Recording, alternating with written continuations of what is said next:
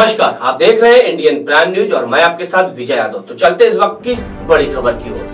झांसी ज़िले के मौरानीपुर तहसील में अंतर्राष्ट्रीय महिला दिवस का कार्यक्रम किया गया, जिसमें नगर व क्षेत्र की महिलाओं को उत्साहवर्धन करते हुए नारी सुरक्षा को लेकर कई जानकारियाँ दी गई, जिसमें महिलाएँ अपने परिवार का भरण पोषण किस प्रकार करती हैं और समाज में रहकर किस तरह महिलाएँ आज के युग में नाम रोशन कर रही हैं। मौरानीपुर के न्याय जज नुपुर श्रीवास्तव मुख्य अतिथि रहे। व तहसीलदार वंदना कुशवाहा, कॉलेज के प्रधानाचार्य नंदिनी दुबे आदि महिलाओं ने एकत्र होकर नारी सम्मान, नारी सुरक्षा को लेकर जानकारियाँ दी।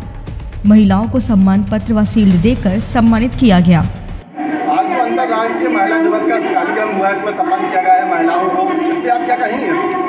इसमें हम ये कहेंगे कि मतलब हम अच्छा महसूस कर रहे हैं और काफ़ी गौरवान्वित महसूस कर रहे हैं। और इस तरह की जो पहल महिलाओं के सम्मान में हुई है वो आगे भी इस तरह रहे। और ये एक दिन का सम्मान नहीं मतलब ये है कि महिलाओं का हमेशा के लिए ये रहे। इसमें आप लोग भी आप भी आप भी क्या क्या कहना चाहेंगे महिलाओं के लिए? मैं प्रीति अग्रवाल हूँ पहले अपना इंट्रोडक्शन देना चाहती हूँ। महिला व्यापार मंडल से हूँ।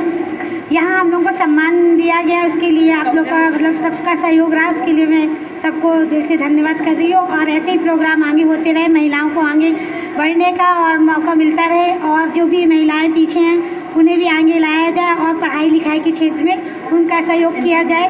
थैंक यू इस बार जो महिलाओं को सम्मान दिया गया है, आज मैम अंतर्राष्ट्रीय महिला दिवस का आज कार्यक्रम रहा है तहसील में। इस पर आप महिलाओं के लिए क्या कहेंगे? महिलाओं के लिए मैं बस ये कहना चाहती हूँ कि वो अपने आप को बहुत नेगलेक्ट करती हैं हर विषय पर। वो सुबह से शुरू हो जाती हैं काम करना, रात तक काम करती हैं। अगर वो ऑफ़िस गोइंग हैं तो भी वो घर का काम संभालती हैं। ऑफ़िस का भी उनको करना है, वापस जाके फिर से घर का करना है। और उसको वो कभी अपना जो भी ये परिश्रम करती हैं, उसको कभी काउंट नहीं करती हैं। वो हमेशा ऐसे कहती हैं कि जो है हमें इसका सहयोग रहा, पुरुषों का रहा, इसका भी रहा। नो डाउट सहयोग रहता है, लेकिन हम भी तो उनका उतना ही सहयोग कर रहे होते हैं।